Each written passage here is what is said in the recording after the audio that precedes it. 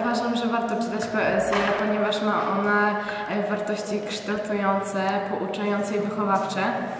E, Dzięki niej jesteśmy skłonni do refleksji i przemyśleń nad naszym życiem. E, Odnajdujemy tam pytania na nasze trudności, jakieś sprawy, z którymi nie możemy się sobie poradzić, wskazówki nam daje. Mm, Ukazuje nam również ona prawdziwego człowieka, jego wady i zalety.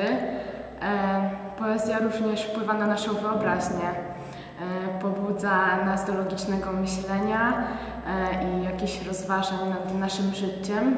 Uczy nas współczucia do innych ludzi, inaczej patrzymy na świat.